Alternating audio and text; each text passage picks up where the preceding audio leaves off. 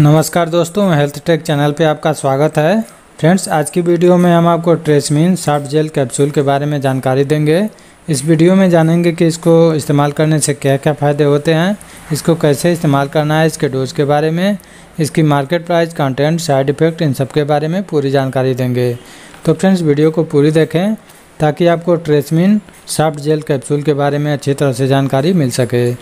तो फ्रेंड्स ट्रेसमिन soft gel capsule इसके मार्केट प्राइस की बात करें तो नब्बे रुपये इसकी मार्केट प्राइस है और पंद्रह कैप्सूल का एक स्ट्रिप आता है।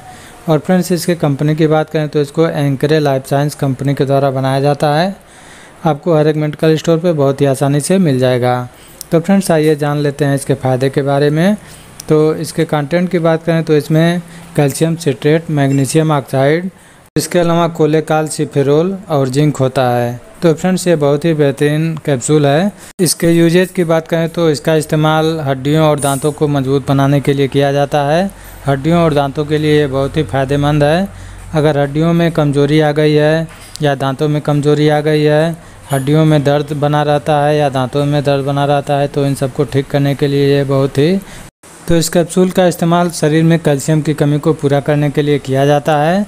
इसका इस्तेमाल प्रेगनेंसी में भी होता है। प्रेगनेंसी के दौरान महिलाओं में कैल्शियम की कमी हो जाती है तो उसको दूर करने के लिए इस कैप्सूल का इस्तेमाल किया जाता है।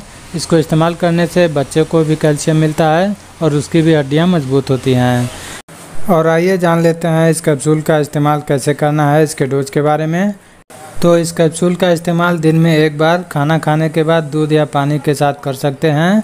इसको लेने से पहले अपने डॉक्टर से परामर्श ज़रूर ले लें, तभी इसका इस्तेमाल करें। जब शरीर में कैल्शियम की कमी हो, जब इसकी आवश्यकता हो, तभी इसका इस्तेमाल करें। जब भी कैल्शियम का इस्तेमाल करें तो आयरन का इस्तेमाल न करें। और फ्रेंड्स, आइए जान लेते हैं इस कैप्सूल के क्या क्या साइड इफ़ेक्ट हो सकते हैं।